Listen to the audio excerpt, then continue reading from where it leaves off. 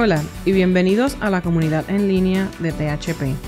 Soy Rebeca Cruz y hoy escucharás la traducción al español de nuestra última publicación del blog de THP, tripper.com.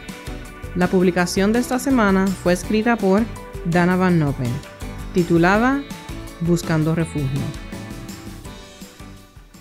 Cuando estaba en la escuela primaria, solíamos practicar simulacros de tornado el lugar más seguro de nuestra clase era debajo de nuestro escritorio. Siempre me pregunté cómo nos protegería el escritorio de los fuertes vientos de un tornado.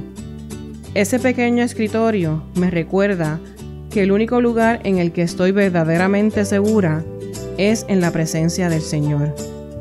Cuando confiamos en Dios a través de Jesús, podemos decir que Dios es nuestro lugar seguro.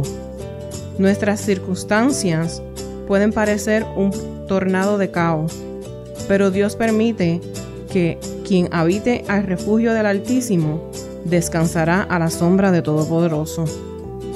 Eso significa que puedes ir a Dios para esconderte. Puedes acudir a Dios en búsqueda de protección. Cuando nos acercamos a Dios en la oración, adoración y estudio de su palabra, podemos tener paz en cualquier circunstancia. A veces nos dejamos vulnerables al caos que nos rodea cuando buscamos paz en lugares inestables. Puede ser como esconderse debajo de un escritorio en un tornado.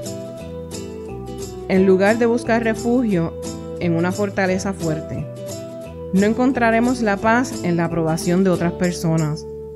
Podemos encontrar paz temporal en circunstancia, comer en exceso o distracciones la paz duradera e inquebrantable proviene de la verdadera seguridad de la sombra del Todopoderoso.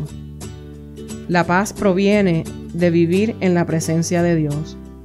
Podemos tener paz cuando salimos de la sombra de la duda y nos adentramos en una amistad con Dios real que cambia la vida. Muchas gracias por tomarse su tiempo y escuchar esta traducción al español de nuestro blog de thptreport.com.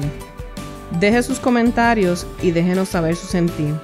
No dude en contactarnos a mediahub.thptreport.com. Gracias de nuevo por ser parte de nuestra comunidad en línea de THP.